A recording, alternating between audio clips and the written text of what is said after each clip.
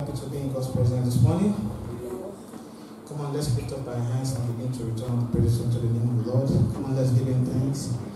Let's thank him for the blessings he has given to us, for the fact that you and I are alive. Come on, let's open our mouth and say thank you. That's the only thing we owe him. We owe him thanksgiving. We owe him praises. Come on, let's lift up our hands and our voice this morning. Let's say thank you to the creator of heaven and earth, the one who has made it possible for you and I to be here this morning to partake of this service this morning. Come on, lift up your hands, lift up your voice, say thank you, call him sweet names. Lord, we bless your holy name. Father, we say thank you. Lord, we give you all the praises. Blessed be your holy name, Lord Jesus. For last week, Lord, we come to say thank you. For this Sunday, Lord, we are saying thank you. For the preservation of our lives and that of our families, Lord, we are saying thank you. For those of us that are present here, Lord, we also saying thank you. Blessed be your holy name, O Jesus. Blessed be your holy name, O God. You alone are worthy. You alone are worthy to be praised. Blessed be your holy name, O God. For in Jesus' mighty name we have given thanks. Thanksgiving is one thing we only owe God. Hallelujah. If any man does anything for you and I, we should learn to return thanksgiving at all times. Praise the Lord. Um, yeah, before I go further, um, bow down our heads and take this morning, to pray this morning. Father, we thank you, Lord, for this day. We thank you, Lord, for the grace to appear before you this morning to hear from you once again. Holy Spirit, we ask that these words that we are about to hear, O God, that you open our understanding to receive from you in the mighty name of Jesus. Open our hearts to also hear from you this morning in the mighty name of Jesus. Let each and every one of us have an encounter with this word this morning in the mighty name of Jesus. We shall not go back home the same after this service in the mighty name of Jesus. Holy Spirit of God, you are the great teacher, you are our comforter. We invite you into this place this morning. Have your way in the service. Have your way in this ministration this morning. For in Jesus' mighty name we have prayed. Um, so we are gradually getting to the end of the year with. Um, so we started this year with some promises, uh, which uh, the prosperity for the next level as given by Pastor Charles himself through the inspiration of the Holy Spirit. That was how we started this year. And we are gradually getting to the end of the year with those promises of God in our own hearts. Prosperity for health, prosperity for wealth, prosperity for health, prosperity for what again? Direction. So all this is actually prosperity for the next level. But the truth, the truth is that not all of us has gotten to that point yet. For some of us, it is still a work in progress, and for some of us, some of us have partake, uh, partook of some of those prosperities for the next level, and some are still partaking, and some of us are still yet to get there. Praise the Lord. And one of the reasons could be that, um, you see, when God wants to lift us from one point to another, from point A to point B, He needs to make sure you're qualified for that next position. Hallelujah. He prepares you. And um, one of those ways He prepares us is through the messages we've heard so far. So God cannot just give us prosperity for the next level and not give us ways to actually achieve them. Praise the Lord. We've heard a series on faith.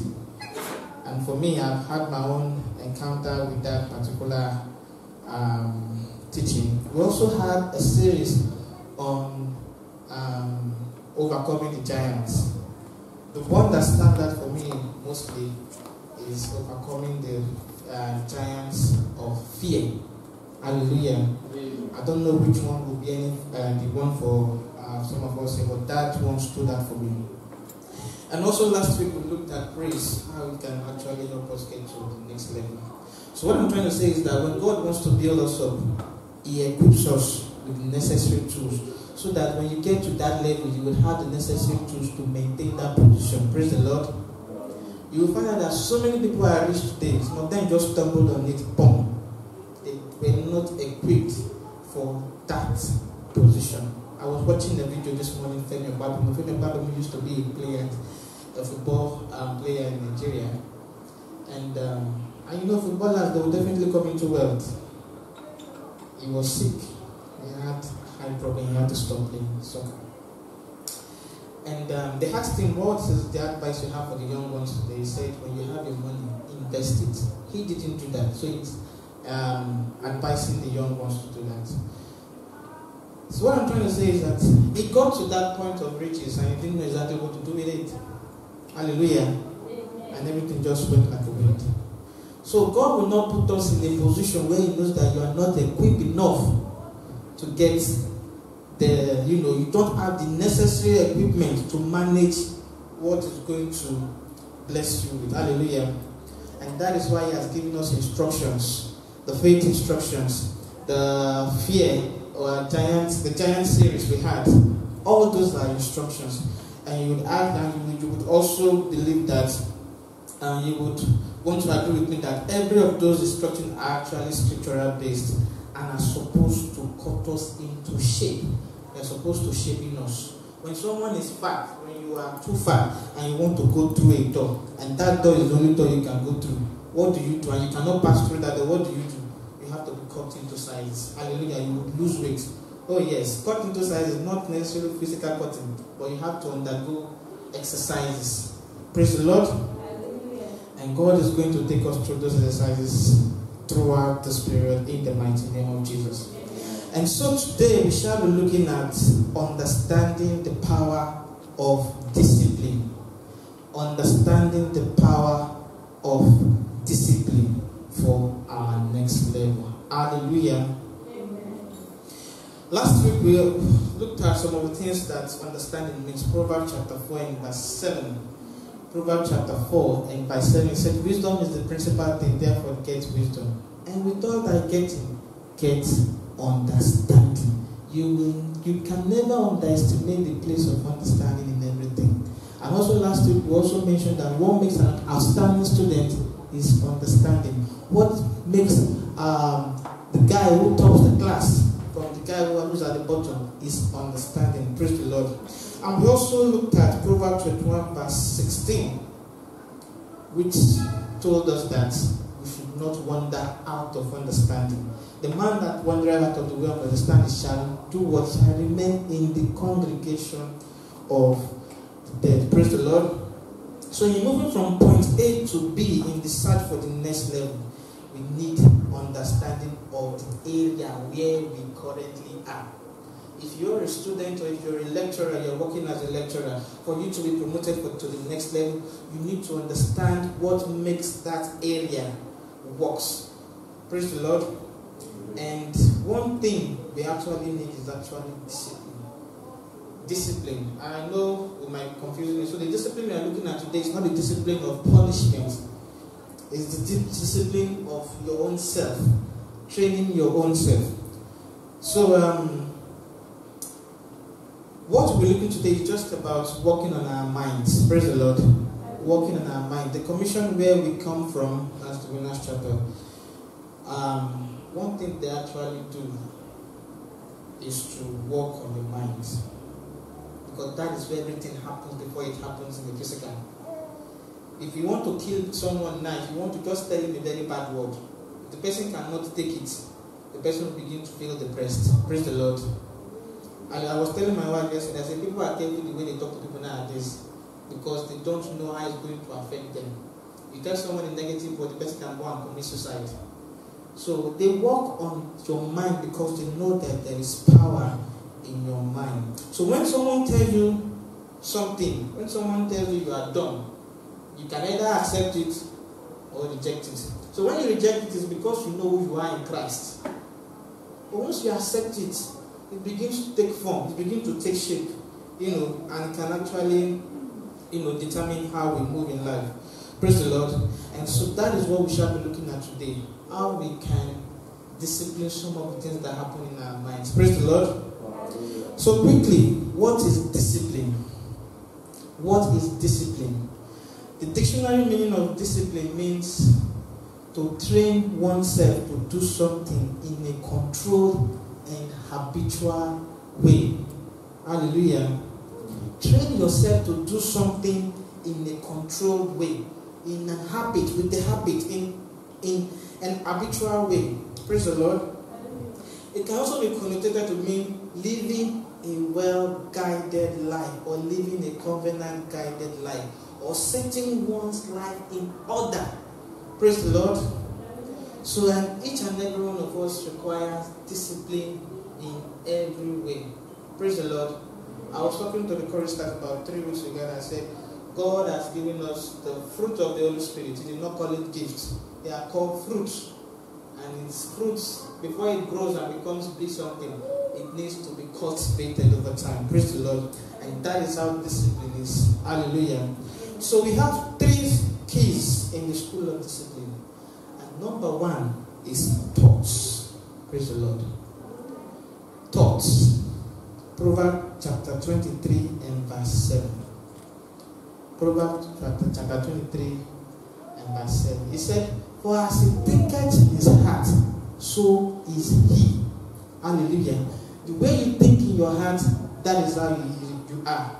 Whatever your mind can conceive, that is how it is. So in every endeavor, our minds cannot, you cannot expect to dwell on thoughts of failure and get success. Praise the Lord. You can't expect to be thinking thoughts of um, um, of, uh, of defeat and you expect to be victorious. You cannot expect to be thinking uh, thoughts of failure and you expect to arrive at success. Praise the Lord. Our thoughts can prevent us from getting to the place we are destined. Praise the Lord. So in the Bible passage we read this morning, Numbers chapter 13, from verse 1 to 3. I will take that first. And he said, And the Lord spake unto Moses, saying, verse 2, Send down men that they may search the land of Canaan, which I give unto the children of Israel. Of every tribe of their fathers shall ye send a man, every one a ruler among them. And in verse 3, and Moses, by the commandment of the Lord, sent them from the wilderness of Paran. All those men were heads of the children of Israel. Praise the Lord. So move to verse 17. And Moses sent them to spy out the land of Canaan and said unto them, Get you up this way southward and go up into the mountain. Verse 18. And see the land, what it is, and the people that dwell therein, whether they be strong or weak, few or many. And what the land is that they dwell in, whether it be good or bad, and what cities they be that they dwell in, whether in tents or in strongholds. And verse 20. And what the land is, whether it be fat or lean, whether there be wood therein or not. And be ye of good courage, and bring of the fruit of the land. Now the time was the time of the first ripe grapes. And in verse 21, so they went up and searched the land from the wilderness of Zin unto Rehob, as men come to Hamath. So they went forth and they searched the land. So I'll jump to verse 30. Before I go further, I want us to realize that this was the point where they actually searched the promised land, but they did not enter the promised land at that point in time.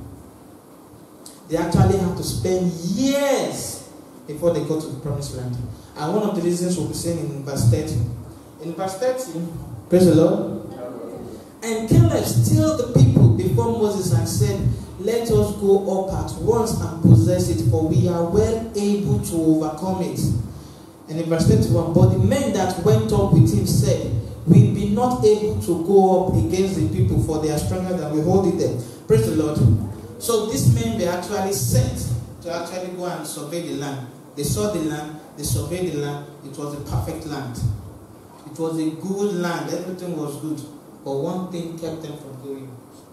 In verse 31, but the men that went up with him said, We be not able to go up against the people for they are what they are stronger than we. And in verse 32, and they brought up an evil report of the land which they had searched unto the children of Israel, saying, The land through which we have gone to search it is a land that eateth up the inhabitant thereof, and all the people that we saw in it are men of great stature. And finally, in verse 33, and there we saw the giant, the son of Anak, which come of the giant, and we were in our own sight as grasshoppers. and so we were in their sight. Praise the Lord. This is where I'm going to. Let's look at that particular verse very well. And there we saw the giant, the sons of Anak, which come of the giants. And we were in our own sight as grasshoppers. And so we were in their sight. Praise the Lord. Nobody can give you a name that you are not. Nobody can call you a name that you not call yourself. This is the reason why they could not go. So when they got there, they saw giants. They came back, they came to report. The giant did not call them grasshoppers. The giant did not call them small men. So they went and came back and came back with this evil report that they were like small men. They were like grasshoppers. Their mindset was already caged that they cannot, you know, they already had the defeated mentality. So even if they were supposed to go to war, I think it was Caleb in the preceding verse that said they can take these people. Someone shot him up and said, No, we cannot. And this is the reason. The giants have not called them, You are small. They call themselves small. And we were in our own sight. First, in our sight, we've seen ourselves as small. The world has not called us small in most things. The world has not set up policies to begin to look at us small. Hallelujah. Praise the Lord. We already, some of us already have a kind of mentality a limited mentality because of the situation around us. The situation has not called us small. The situations have not called us um, grasshoppers. But we already have a grasshopper mentality to most of the situations around us. And that is why we. You know how a grasshopper is? How can a grasshopper stand against uh, a dog? Let's start with. So if you already have a grasshopper mentality, and you're going forward for the next level, how would you achieve that? Praise the Lord. And some of us are like this man, praise the Lord. Do you know? So many times in my lunch, I have had people ask me one very funny question. Do you know what that question is? They asked me, What is your son's name? Before my son arrived, they said, What will you give your what name will you give your son? And I said I'll give my son a Nigerian name. And they were like, why would you give him a Nigerian name? And I said, oh, that's what I feel like giving him. They said, oh, you don't want to limit him by his name. I had scattered. I said, what does the name have to do with? They say that people, when they want to get a job in this land, they look at names first. Before, when you submit your CV, they look at your name. Praise the Lord. And people are currently changing their names because of that mentality. Praise the Lord. If you have an excellent spirit, if you have an excellent mentality, if you have a mentality to be, you know, to excel in your field, your gift will make way for you. Hallelujah. Amen. So I don't want us to have that same mentality. Most of us are currently doing that. We change our name just because we feel the policies will not when did, you, when did your name replace the name of Jesus? When did our name replace the power in the name Jesus? Praise the Lord. We should never allow our thought to hinder us. Praise the Lord. So, we should note some of these points. It is our thoughts that need working, not our names. Praise the Lord people have gotten have interesting people. Israel Adesanya. Is he not a local name? Israel is an Hebrew name. It's an Hebrew name, but it's not an English name. But his, but his, but his surname is a, is, a, is a Nigerian name. Praise the Lord. There are people here. There is a Ghanaian lecturer in my school. He's a senior lecturer. I know his name started with Ado. It's not English. But he's positioned rightly. All the um, mid, middle, uh, mid east, uh, Southeast Asian that are positioned in places in this country, most of them didn't have to change, especially the Muslims. They don't change their name. So let that mentality not stick with us. Praise the Lord. I know it is growing slowly. It's growing slowly. It's growing slowly in our minds. And some of us don't even know it. Praise the Lord. Our names have not replaced the name of Jesus. And what the name of Jesus can do for us, it will continue Praise the Lord. May the Lord give us understanding in the mighty name of Jesus. So our next level is rooted in the power of our thoughts. Praise the Lord. The book of Romans, chapter 12 and verse 2. And be not conformed to the things of this world, but be ye transformed by the renewing of your mind, that ye may prove what is that good and acceptable and perfect will of God. Praise the Lord. Until our mind is renewed, our life cannot be totally transformed. It's simple. You cannot be moving around with um, a negative mind and expect to get positive results. Until our mind is totally renewed, our life can never be truly transformed. I was facing a kind of fear until I heard that message on defeating your fear, giant series, that period. Hallelujah. So, yeah, it is not about what happened without us.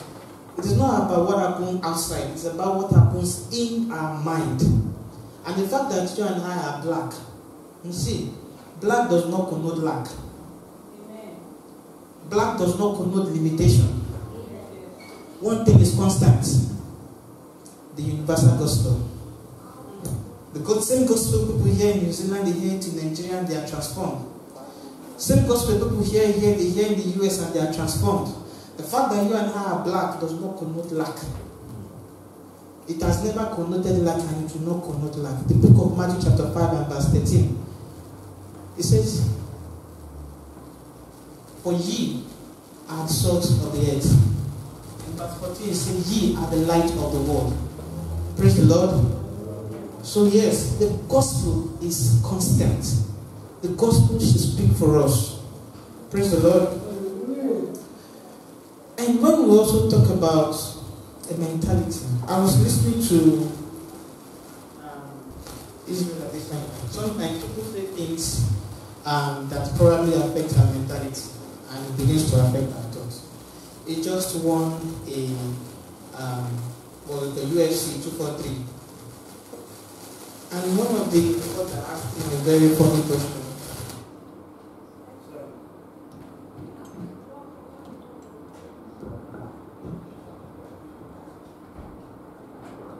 One of the reporters asked him a very, very funny question. He said, How much of the good stuff do you hear about yourself? How much of the good things do you hear about yourself? Do you know what he said after he said so many things? I picked a particular one. He said, You are never as good as they say you are. And you are never as bad as they say you are. All that matters is how you see yourself. Praise the Lord. People will tell you things to change your mind. People will tell us things to change your mind. I have heard things. Hmm? But it does, all those does not matter. What matters is how do you see yourself? So, what we have in our minds to a large extent determines the way we say things. Praise the Lord. Matthew chapter 12 and verse 34. From the abundance of the heart, the mouth speaks. From the abundance of the things we have in our heart, the kind of thoughts we have in our heart, the mouth speaks. Hallelujah from the abundance of the things we have in our heart, the kind of thoughts we've been able to keep in our heart, the mouth speaks. And that leads us to the second um, key in the school of discipline, which is words. Words are very, very, very powerful. Words are very, very, very powerful. Proverbs 18 and verse 21. Death and life are in the power of the tongue, and they that love it shall eat the fruit thereof. Words, when said and articulated in the right way, can change someone's mind. It can alter people's belief. It can build someone up, and it can also destroy. James chapter 3 from verse 1 to 12. A very long scripture about words and how we should articulate our words and and we should be careful about it. And I read verse 1 My brethren, be not many masters, knowing that we shall receive the great condemnation. And in verse 2, For in many things we offend all. If any man offend not in word, the same is a perfect man, and able also to bridle the whole body. In verse 3 Behold, we put bits in the horses' mouths, that they may obey us, and we turn about their whole body. In verse 4 Behold also the ships, which though be so great, and are driven of a fierce wind, yet are they turned about with a very small hem, whithersoever the governor listed. And in verse 5 Even so the tongue is a little member, and boasted great things. Behold, how great a matter a little fire it can kindle. In verse 6, and the tongue is a fire, a word of iniquity. So is the tongue among our members, and it defileth the whole body, and setteth on fire the course of nature, and it is set on fire of hell.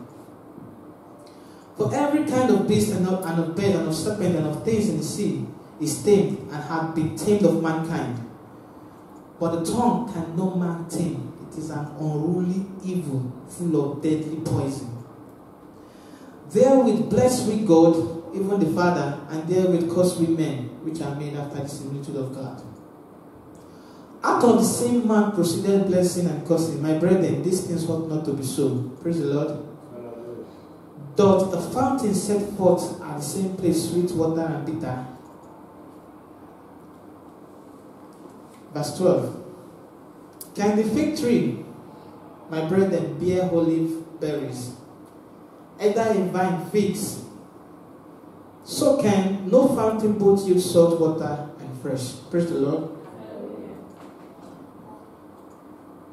What we are talking about in this particular verse, especially, is you cannot continue to confess negative things and expect to see positive results. A fig tree cannot give olive berries. Either a vine give fig. Praise the Lord. We have to watch what we say. Some of us are going to use word, especially when it is funky, when it is in current usage, especially this word depression. I have a guy in my lab, and we're talking on Friday. This guy told me how he has battled depression. He's from the US. He has battled depression from um, secondary school up until now. He's still battling it once in a while. He said it comes and goes. And when the guy finished telling me his stories, I realized most of the things this guy has gone through, I have gone through them. but I have never considered them depression. So do you see? Immediately he said it was depression. My mind sat and I was like, oh, you mean this is depression? But I never saw it like that. Praise the Lord. Hallelujah. So it, you see, this little, little thing people say, they give you this. What did he go through? It took him time to get admission. Do you know how long it took him to get admission to the university? it sounds funny, but these are the things that happen around us. You know, before you know what, people are beginning to confess any small thing, oh, I'm depressed, oh, I'm depressed. But this actually are not depression. They are not things we should confess with our own mouths. Praise the Lord. And we should be able to shape our own future with the words we say. I have a friend also. He has confessed that he's going to stay five years in university for his PhD. He said that in his first year. Like play, like play. He has he's going to conclude his fourth year by November. And by November, he's not still sure of going. He's thinking of registering for an extra three months that will take him into his fifth year. Has it not come to pass? I called him on Friday. He dropped me where I parked. And we are, me and the other guy already discussed him. So when I called him on Friday, I didn't feel peace. I felt that, oh, probably if I don't talk with this guy, I'm going to feel like I, I gossiped about him. So I told him exactly what I felt. And I told him, do you know the reason you're your state too long is because of the things you've said? Yeah, he was joking. He said, no, no, he doesn't think that way. I said, well, me, I'm just telling you. From my first year when I got in here, you were always telling me, oh, well, you would tell me you will stay here four years. I said, no, I'm not staying here four years. I was always giving it back to him. I'm not staying here four years. When it's time for me to leave, I would leave. He said you will stay. I said, no, you, you will stay here five years. he said, yes, you will stay here five years. And now, five years, he's going to step in. You see. Praise the Lord. So we should watch what we say. Let's be disciplined in the kind of words that come out from this mouth. Praise the Lord. Our words have a way of shaping the future, especially for parents also. Back home, I think Pastor Mrs. also gave something like this, a message like this some few time ago. Most parents have been able to shape the future of their children with the words they say. You are living in a basement and slap you. And you will see people, the child does something and the woman will say,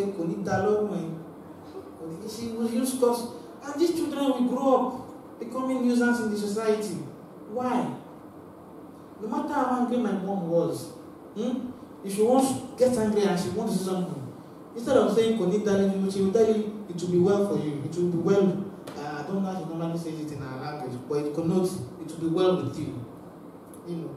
It has never got to that because what we say shapes us, whether you like it or not. Somebody was telling me around uh, the university was they're just words, no, they don't mean anything. No, they do.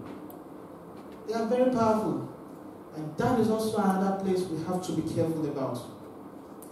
So what you don't say, you will never see. The things you do not say, you will never see.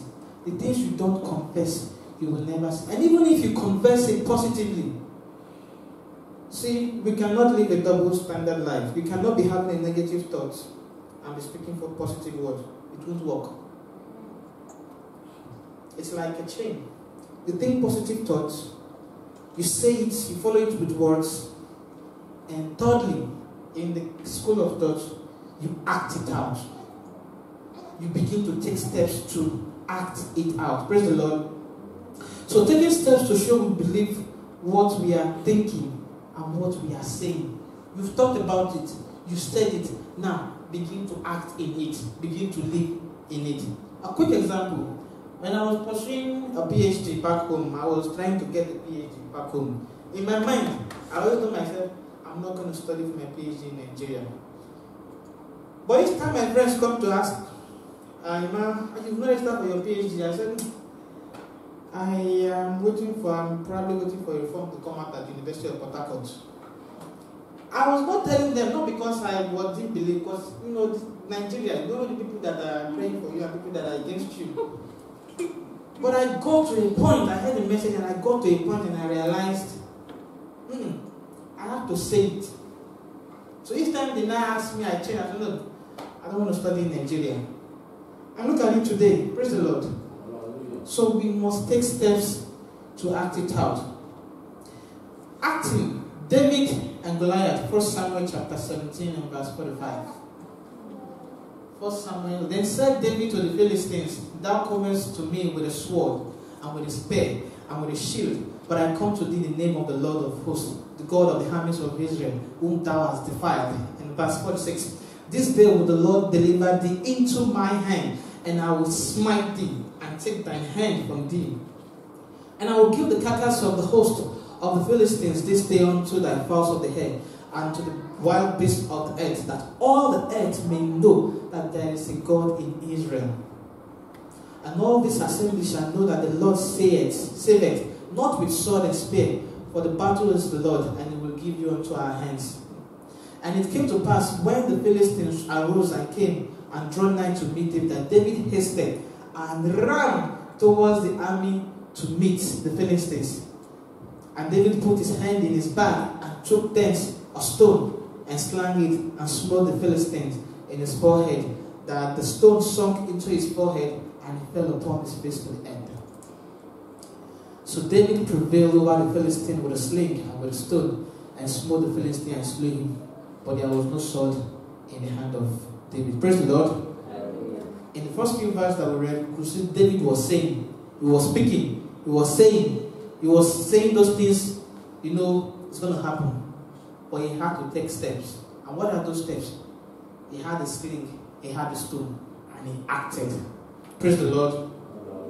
So it is one thing to actually get instructions, it's another thing to actually act it out. Some of us, we are beautiful, we are wonderful with taking down notes we take down notes, we can write it down, we can take down the note, but do we live out these things? Do we, do we leave them out? Do we really, you know, leave them out? Praise the Lord. It is one thing for you to hear one thing, to hear something. Another thing is for you to think, sing. But the main thing is for you to begin to have that. And seriously, I was listening to Andrew Wommack. Andrew Wommack said, there is a limitation to what can do, what God can do for us. And what he meant by that was that God has given you and I dominion. He also did not give us the spirit of fear. He gave us the spirit of power, love, and of sound mind. That sound mind is supposed to help us think. Praise the Lord. Hallelujah. Sound mind is supposed to help us think and act things out. Praise the Lord. So it is one thing to actually get instructions, another thing to actually put them into practice. And to actually do this, it takes a genuine, conscious, diligent effort. Praise the Lord. So there are ways to grow in discipline. I'm able to highlight about three ways that can help us grow. But the truth is that, listen, some of us, um, my wife gave uh, what's called a charge yesterday in the choir about some of us being uh, just like a baby is growing, feeding from milk, then to mashed food, then to meat. Some of us are actually still feeding at that baby level. Praise the Lord. To actually grow, we need to actually have people we look onto. We need to be able to fashion our lives as those people. So, one of the ways to grow in discipline, number one way is God's Word. I don't know how many of us still engage in uh, personal devotion, daily personal devotion. Praise the Lord. The book of Joshua, chapter 1, and verse 8.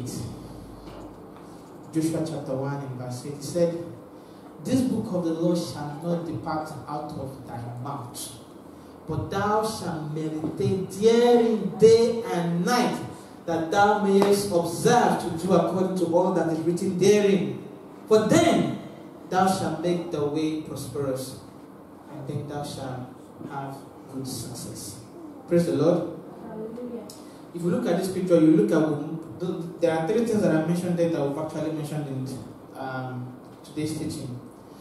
The book of the law shall not depart out of thy mouth, speaking, but thou shalt meditate, think, therein, night, day and night, that thou mayest observe to do, act it out, according to all that is written therein. For then thou shalt make thy way prosperous, and then thou shalt have thy good success. Praise the Lord.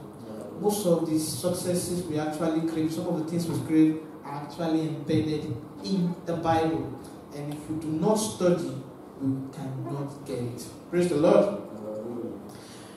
And sometimes it's really good to actually engage ourselves in devotions. You pick some words. Like take for instance, somebody comes and tell you something negative. How would you stop the person? How would which word are you going to tell the person? Lamentation 3 and verse 37. I love that scripture. The moment I grabbed that scripture back home, it stuck. He said, Who is it that said the thing and it come to pass when the Lord has not commanded it? So when people tell you what you are not, is it the Lord's commandment? Is it written in the book? Is it for you? Praise the Lord. But how do we know some of these things if we do not study and know that these words are actually there? May the Lord grant us understanding in the mighty name of Jesus. Amen. Reading number two, reading anointed books and listening to anointed tips or messages. That is one way we can also get uh, be disciplined in these three lives. We will look at the lives of these people that have lived before us, those people that are they are successful. In my second year, I read the book, I can't remember, but I only remember the word there. One particular scenario. So what the person does is he wakes up in the morning, And you can also try it. It worked for me and I'm still working because I still do it. He wakes up in the morning every morning and he faces, before he leaves home, he faces his mirror and he speaks to the person in the mirror. Mm-hmm. And who is the person in the mirror? It is you. He speaks to the person in the mirror and tells the person, This, I did that in my second year. I started doing it for my first, first year, second year. I will tell myself, Emmanuel, you're the best of the best of the best of the best of the best. Whether it's the best or whether it's the big fish in a small pond, I don't care. But in my small class, I was stopped. Praise the Lord. So I was telling myself this and till tomorrow when I stand in my mirror, I still tell myself things. So you can imbibe that. The truth is that when people tell you things, if you're not careful and you accept it, you begin to live it out. So it is when you tell yourself something. Look in the mirror. Tell that person something. Tell the person what you want uh, to see in that person's life. And will begin to act out itself. Praise the Lord. I've also read another book, it's called Fourth Dimension. I applied whatever it is in, in that book in how I go to New Zealand. Praise the Lord. Hallelujah. Pastor David Yonggi Cho, that's his name, he wrote the book Fourth Dimension. How he got some of the things he got was through imaginations and besieging. He needed a bicycle. He already mapped out the shape of the bicycle he needed. He got it. He needed a furniture. He imagined it in his mind and he got it. In coming to New Zealand, do you know what I did after I applied? I picked a particular picture of Investor Canterbury. My laptop, I used that particular uh, screen as my, what do you call that? Not screensaver. Wallpaper. Wallpaper. What you see every day. As you're typing, you're seeing it every day. And I was imagining myself standing in one of those you see red and white uh, signboard and just you know standing there. Praise the Lord. And it happened. When I came, I went to one of those places and I stood there. I did not take a picture, but I went there to see it. Praise the Lord. So when we read anointed books, you will see things that you can practice and you have to act it out with discipline for it to actually manifest. Praise the Lord. And finally, prayer and fasting. We cannot underestimate the power of prayers. No matter what we do, you can't underestimate the power of prayer and fasting. The truth is that because of the busy nature of this plant, some of us wake up in the morning, we just um, go and face the day. And some of us even find it hard to actually fast. Hallelujah. But that is one way we can actually strengthen whatever we hear from the word every day. And just to add to this, I am not really a very good fan of social media. Some of us know it, I say it out.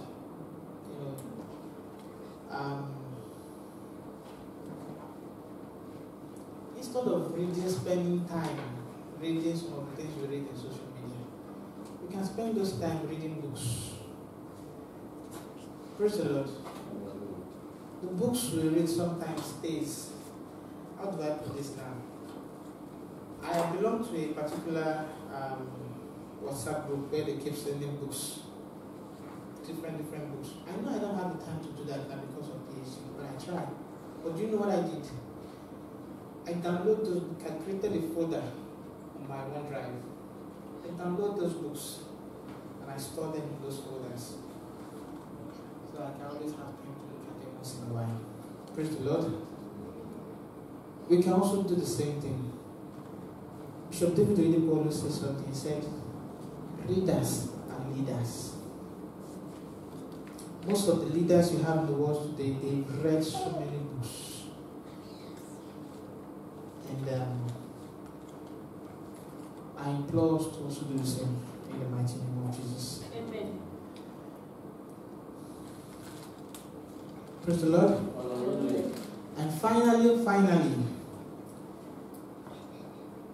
there's no matter if you like get to the next level, next level, next level, and move to the highest level, highest level, highest level, highest level. If you do not live right, you end up gaining this whole world and losing your soul. Praise the Lord. That is the most important thing. We must live right. We must have a conviction in our heart that we are born again. Sincerely, before I dedicated my life to Christ November 2nd, 2014, before then I was born again. On November 20, November 2nd, 2014, I dedicated my life because I had to do it because I was no longer sure of my salvation at that time. But I had to do it. Oh yes, it's the truth. Had to do it just to be sure I am right with Christ. So no matter how much you, how much riches you get, how much level you climb and get, if you are not right with Christ, it amounts to nothing. Praise the Lord. So in our home, I want us to just bow down our heads. Bow down your heads in your own way. I want us to, at this point, begin to um, dedicate. I'm not asking you to raise up your hands. I'm not asking you to uh, lift up your hands. No, it's a relationship between you and God. I want you to begin to, you know, dedicate yourself to Christ this morning. None of us is actually perfect. None of us have attained that state of perfection. So in our own words, in our own ways, in your own way, between you and God, wherever you're seated, why not begin to rededicate your life to Christ this morning? Begin to ask for fresh grace, fresh anointing to be able to live out that life which He has planned for you and I.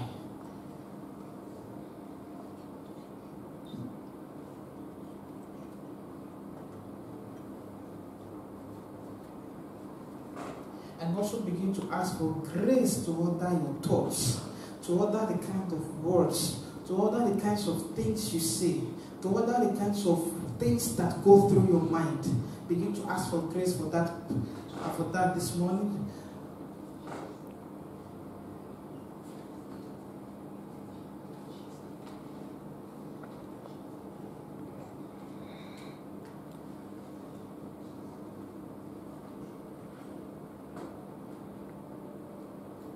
For in Jesus' mighty name we have prayed. Amen. Our Lord and our God, thank you, Lord, for today's service. We thank you, Lord, for your words that are comfort.